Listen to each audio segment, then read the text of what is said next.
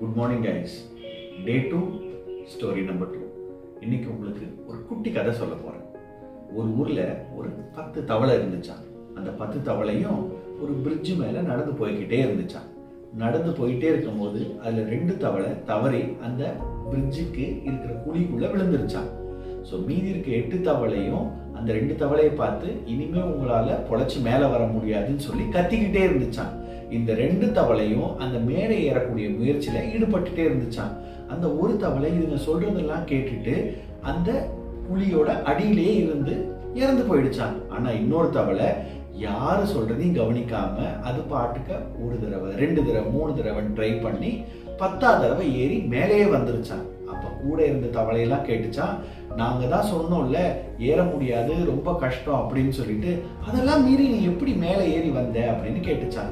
அதுக்கு அந்த தவளை செய்கையிலே சொல்லிச்சான் தனக்கு காது கேட்காதுன்னு சொல்லிட்டு.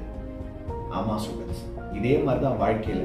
நமக்கு இந்த விஷயம் வராது அந்த விஷயம் வராதுன்னு சொல்லும்போது நம்ம லிசன் பண்ணக்கூடாது. நம்ம ட்ரை பண்ணிகிட்டே இருக்கணும். ட்ரை பண்ணிகிட்டே இருந்தால் ஒரு நாள் நம்ம நிச்சயமாக ஜெயிப்போம்.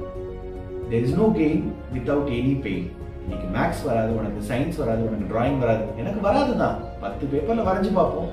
பதினோராவது பேப்பரில் டிராயிங் ஈஸியாகவே வந்துடும் ஸோ அது போல தான் வாழ்க்கையில் ஒவ்வொரு விஷயத்தையும் நம்ம கடைபிடிக்கணும். அதனால தான் நம்ம ஸ்கூலில் நிறைய காம்படிஷன்ஸ் நடத்துகிறோம் அதில் எல்லாத்துலேயுமே நீங்கள் பார்ட்டிசிபேட் பண்ணணும். உங்களுக்கான ஆப்பர்ச்சுனிட்டியை கிராப் பண்ணணும். விஷயங்களை நீங்கள் கற்றுக்கணும் good day take care bye bye